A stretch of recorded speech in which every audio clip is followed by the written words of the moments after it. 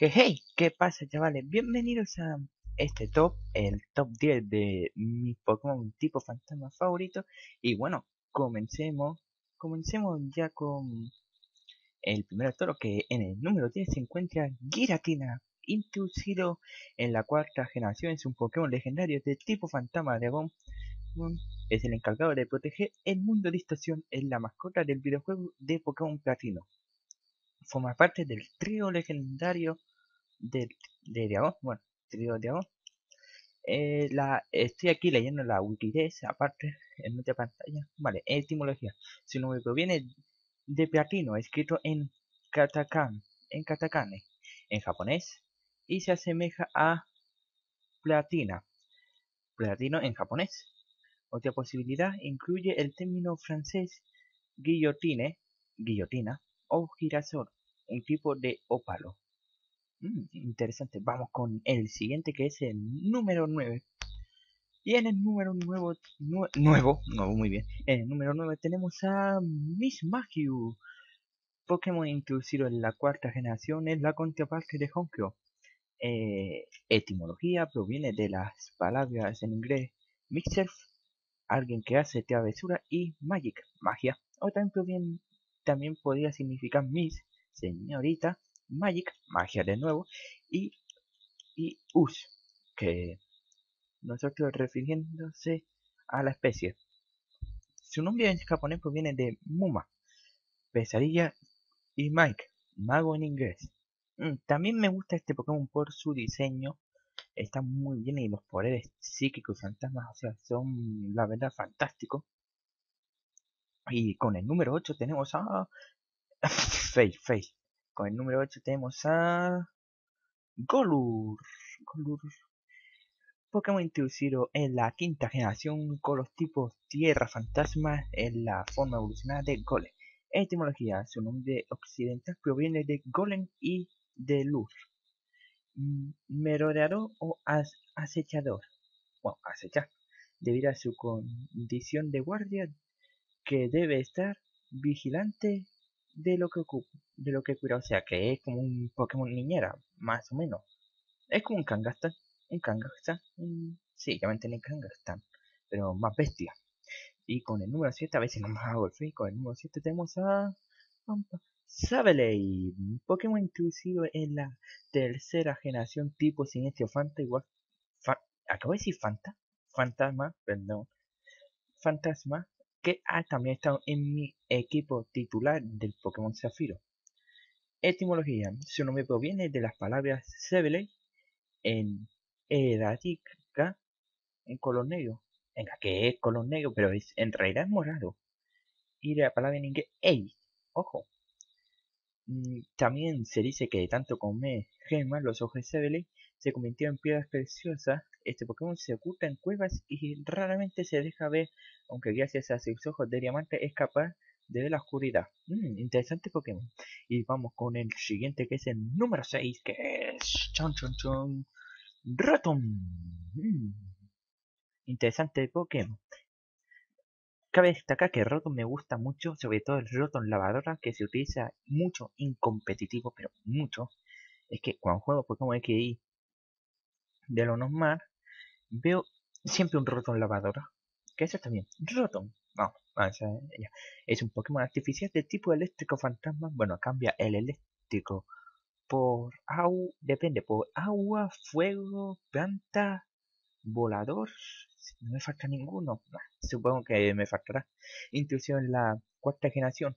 Eh, cabe destacar que en la quinta generación, en la cuarta era eléctrico fantasma cada vez que cambiaba una forma pero a partir de la quinta generación este Pokémon cambió a, ser de cada tipo. Cambió de ser eléctrico fantasma cuando se fus, cuando se introducía en un objeto. Que me enrollo y cambió a su tipo. Introducido en la cuarta generación en Pokémon Platino se añadió la posibilidad de alternar entre sus varias formas y en el Pokémon Blanco y Negro se añadió el cambio de tipo fantasma. Ay, por eso. Tipo, tipo de electrodoméstico escogido. Etimología. El nombre de roto es la etimología es larga pero larga. Proviene de la palabra motor que es escrita al revés. Esto podría ser un juego de palabras ya que mientras un motor facilita las tareas roto, antes que me salió algo, roto siempre termina estropeándolas. Esto lo, con, esto convertirá en el tercer Pokémon que posee su nombre al revés siendo los primeros Ekas y Alpha. Bueno, sería cuarto Pokémon al revés Kun, que es buscarlo mejor en, entre creo que yo no quiero ser culpable. Eh, su etimología es confirmada en Pokémon Platino, donde en la sala de los electrodomésticos del edificio del Team Galaxia en Ciudad Vetusta se puede leer un fragmento de un diario que se revela su origen fue Plutón, según este, quien un día descubrió el primer Rotom junto a su robot de, juguete y lo llamó así. Mm, interesante, interesante también. Mm, o sea, Roto es una chetada, lo tiene el profesor Oa, por si alguien se pregunta. Vamos con el, número 5, pum. Y en el número 5 tenemos a Banet y Mega Banet. Bueno, no vamos a leer a Mega Banet. Banet es un Pokémon artificial tipo está introducido en la tercera generación. Es la forma evolucionada de Super. Su nombre proviene de la palabra inglesa Bane, perdición, ruina o Banter, broma y marioneta. Su nombre japonés, Jupa, Jupete, o como se lea, yo digo así, podría ser una referencia a Gepetto. Oh, vale, Gepetto en español. Era lo mismo. Un artesano que un día creó y trayó una marioneta de madera que cobró vida en la popular fábula Pinocho. También procede de Hamaku, maldición, hechizo, y puppet, marioneta, títere en inglés. Mm, interesante, cabe destacar que los banes comían vida cuando un niño los tira al contenedor o a la basura. Eh, los banes no descansan en paz hasta matar al niño que los tiró. O sea, este ban es que se merece estar en este puesto, así así. Y en el número 4 tenemos a pum pum pum pum, pongo ya música.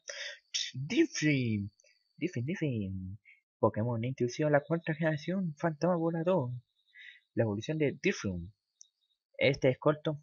Etimología. El nombre de Diffin viene de las palabras inglesas drift, derivada, y beam, dirigible no rígido. O sea que, que va a la deriva sin dirigible. Está bien, se cuenta la leyenda que cuando un niño toca un Diffin, sí, Diffin, y Diffin, lo lleva a una determinada altura y ahí lo suelta hasta dejarlo caer. Este Pokémon se me dice está aquí sí o sí. Y en el número 3 tenemos a pum pum pum pum. Uy, lag. Ahora. A Chandelure. Chandelure. Chandelure es un Pokémon de tipo fantasma fuego introducido en la quinta generación. Es la forma evolucionada de Lampe. Etimología. Su nombre viene de las palabras Chandelier, candelabro en inglés, y de la palabra inglesa lure, que significa señuelo. Su nombre japonés viene de la palabra, de la palabra japonesa sanderea, que significa lámpara de arañón. O sea, este, este Chandelure CMS está aquí, ya que es uno de los diseños más originales que, que he visto yo de quinta generación hasta la fecha.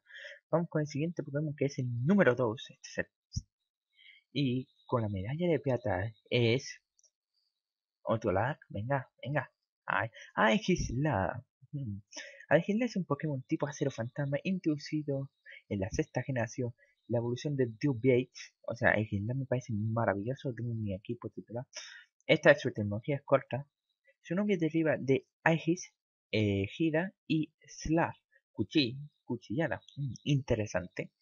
Hmm, y y finalmente, con la medalla de oro que se lleva a su casa, es nada más y nada menos. Os voy a dar una pista, chicos.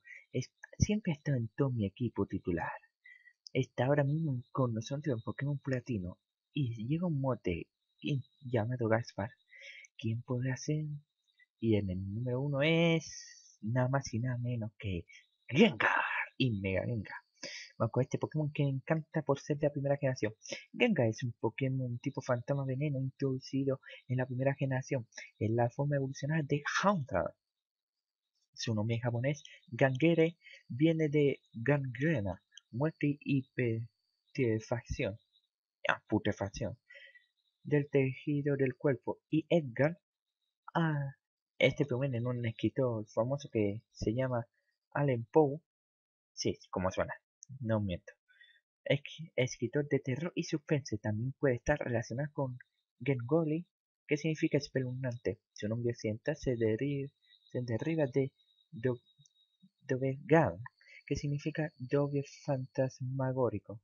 Hmm de una persona viva. O sea que es como la sombra. Ya sabemos que Genga es, una, es la sombra de Kefabio.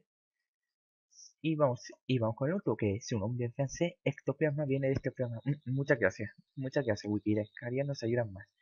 Que la parapsicología es una sustancia que se expele del cuerpo de los medium al caer en un supuesto trance hasta aquí el top 10 de Pokémon fantasmas que más me gustan, chicos. Ya sabéis que dejan un vuestro y por eso like, me ayudan mucho. Si queréis más de estos vídeos, no duréis en decírmelo y nada más.